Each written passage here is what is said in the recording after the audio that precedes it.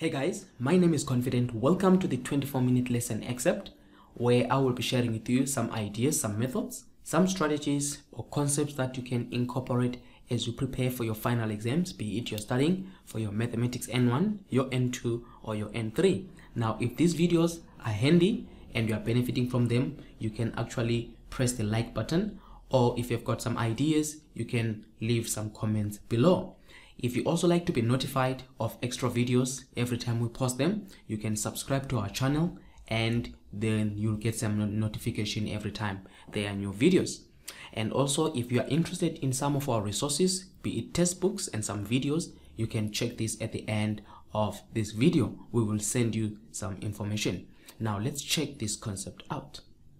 Um, there is a question that was written, um, question 3.3 of the question paper that was written in July 2020. It was actually supposed to be written in April. And this question focused on the lowest common multiple and the highest common factor. And I think for the five marks that it was given, I saw it uh, worthy enough to just show you how you could have approached this question. It says determine the lowest common multiple LCM and the highest common factor HCF of the following algebraic terms you by using prime factors. So to me, uh, I think these five marks were for grabs. You can actually get the, all these marks without much of a problem. Now the question is how do you approach this? So it uses um, the keyword there is using prime factors. Now when you're using prime factors, let's focus on the numbers here. On the numbers, I have my 9, can use maybe that, but I have my 9, and then I have my 6, and then I have my 42. Let's just focus on these numbers. So now if I can find the prime factors of 9, and you know how I find the prime factors of 9, the thing that I need to do is to have my line like that to say the number that goes into 9 the first one is 3 3 into 9 is 3 the number that goes into 3 is 3 3 into 3 is 1 so if I can write the prime factors of 9 it is 3 times 3 which is um 3 squared. Okay?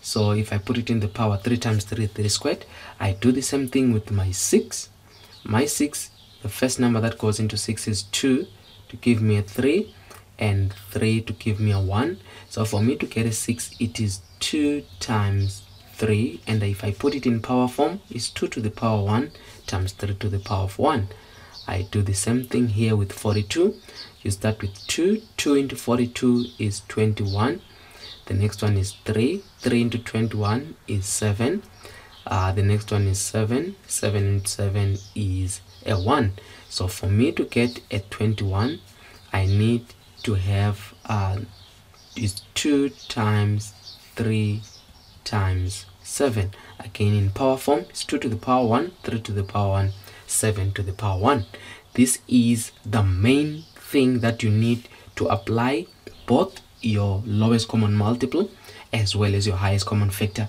whereas, whereas numbers are concerned.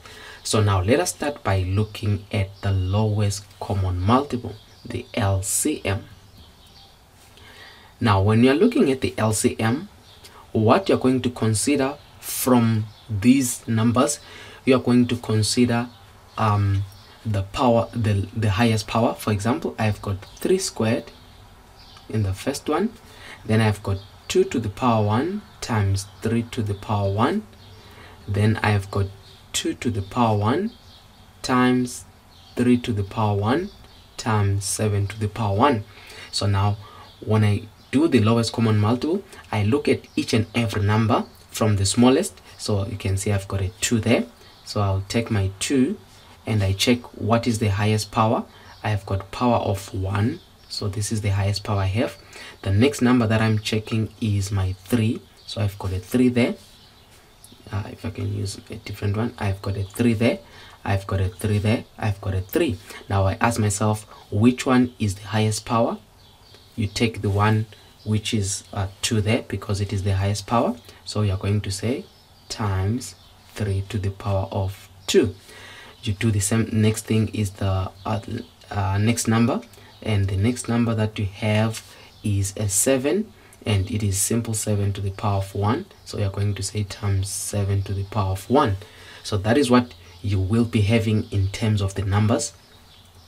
So now you go for the variables or the unknowns.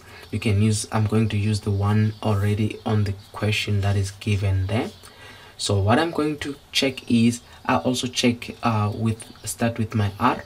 You see i've got r to the power 4 and then i come here r to the power of 3 and then i come here r to the power of 2 what is the highest power here?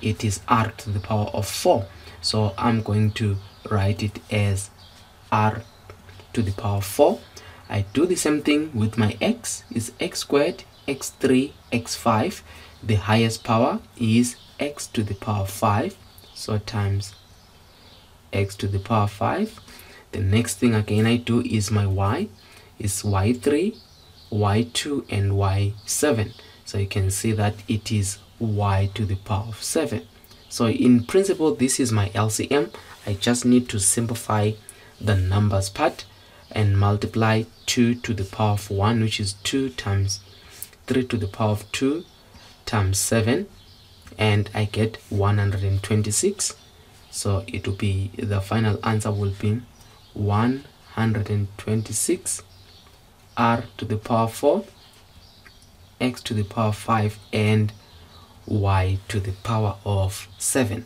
so that is my LCM let us go to the highest common factor which is the HCF. Now, uh, the highest common factor work in the other way around. You are still going to use your prime factors here. So you are still using your prime factors. Now, in the prime factors, if I can write them also, in the prime factors, I have 3 squared.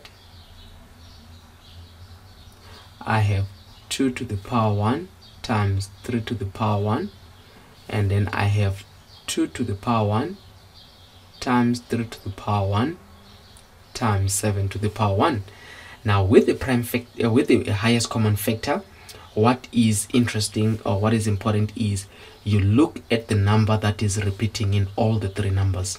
So for example let's start with the smallest number 2 you can see that I don't have 2 in the first one. I've got only 2 here and here. So 2 is totally out. I do the next one is 3 so with 3 I have got 3 there.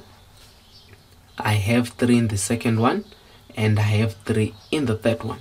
So I have my 3 appearing in all the 3 and I must look for the smallest power and the smallest power is 3 to the power of 1 now if I check with 7 7 only appears once so even 7 is out. So as far as numbers are concerned 3 to the power of 1 is the highest common factor.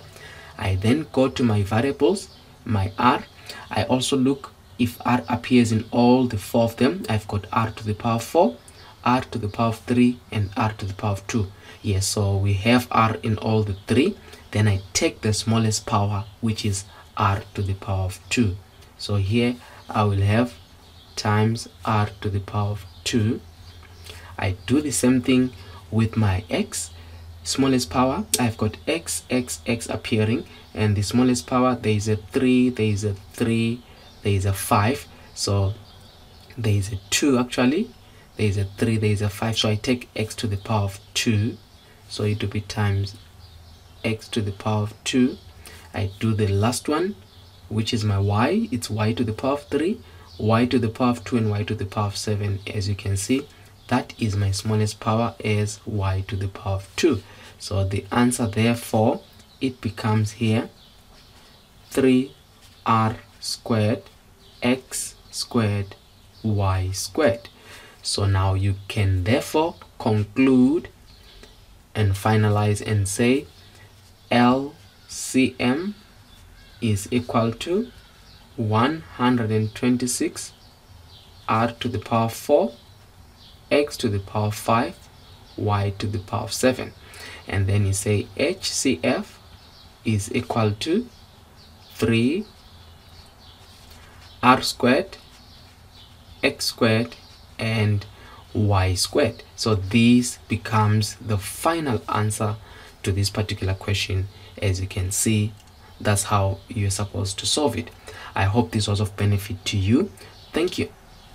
I hope the video that you just watched was of benefit to you. And as I said, if you benefited from the video, you can press the like button or you can leave us a comment below. And if you want to be notified of these videos, you can always uh, subscribe to our channel. Now, if you want the full curriculum of this mathematics, if you're studying for mathematics N1, N2 or N3 and you want the textbook as well as the videos, we have a full um, curriculum of the mathematics N1, N2, N3 as well as the accompanying videos. We also have videos of the previous question papers, the latest papers that were written in video form. These question papers can assist you as you prepare for your exams.